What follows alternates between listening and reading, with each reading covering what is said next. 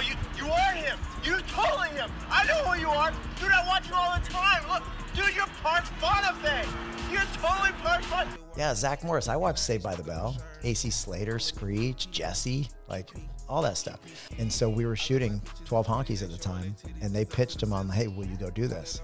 And I don't, I didn't know what they were doing because I wasn't in the car with him. Because it's him and the cameraman, and then me and the cameraman. And so they're just getting me to do these reactions.